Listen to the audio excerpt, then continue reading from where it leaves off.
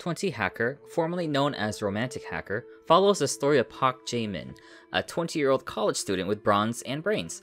His father's company falls apart because of crackers. Um, these crackers, not, not these ones, and is found dead.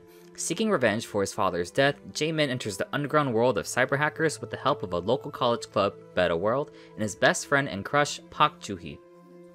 I came across this film because of the soundtrack, specifically this song, Not Just Friends, and I enjoyed it. But when I first discovered it back in April, the film was only available in theaters. This movie is now available on demand on Viki, but despite it having a really amazing soundtrack and great chemistry between the leads, I recommend you avoid this film. Although we are given the premise of the film fairly early on, nothing really happens. In fact, the first hour of the film only introduces all the characters and establishes their relationships to each other. This will be fine in the Korean drama, but for a film, it's too slow. Most films either start off strong or establish what the main problem is within the first 30 minutes, and then work towards that goal. But because the story isn't sprinkled throughout the first half, the last half of the story aims straight for the finish line, giving out an unsatisfying experience as the plot unfolds.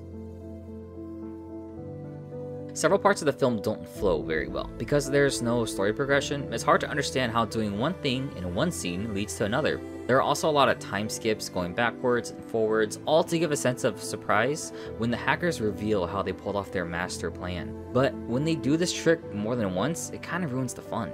It's not shocking anymore. We know the good guys won, so it loses its hype and excitement. There are several side characters throughout the film, but are only there to play a single role. It's clear they are dynamic and complex, but we aren't shown it.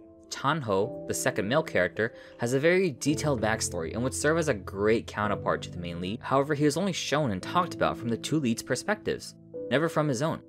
Other two members of the Better World Club also have their own little quirks and charms, but their motive to want to create a better world through hacking is never explained. Despite the three reasons why you should avoid this film, I'd at least recommend giving the soundtrack a listen. And I don't mean just the title track song, but I mean the entire library they use throughout this film. The songs accompany their scenes very well, using mainly piano and ambient instruments, plus I'm a huge fan of the main theme song as it's appropriate for our two leads.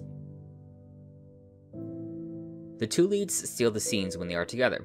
The portrayal of the bond between two childhood best friends is adorable, believable, and entertaining to see on screen. There's definitely a tug of war game going on between these two, no matter how much they deny it. Oh wait, maybe there should be a fourth reason to avoid this film. There's no kiss. I've heard rumors that this film is a prologue to a web drama that's supposed to be released soon, Hopefully that is true because 20 Hacker has a great setup and premise for a drama with its ensemble cast of characters and their backstories that have yet to be explained. Have you seen it? What'd you think? Agree, disagree? Let me know what you think. Either way, thanks for watching and I'll see you next time.